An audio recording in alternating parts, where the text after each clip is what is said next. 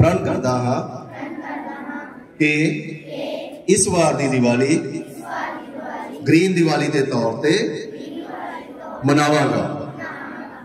ਅਜਿਹੇ ਕਿਸੇ ਵੀ ਪਦਾਰਥ ਦਾ ਪ੍ਰਯੋਗ ਨਹੀਂ ਕਰਾਂਗਾ, ਜਿਸ ਨਾਲ ਸਾਡਾ ਵਾਤਾਵਰਣ ਪ੍ਰਦੂਸ਼ਿਤ ਹੋਵੇ।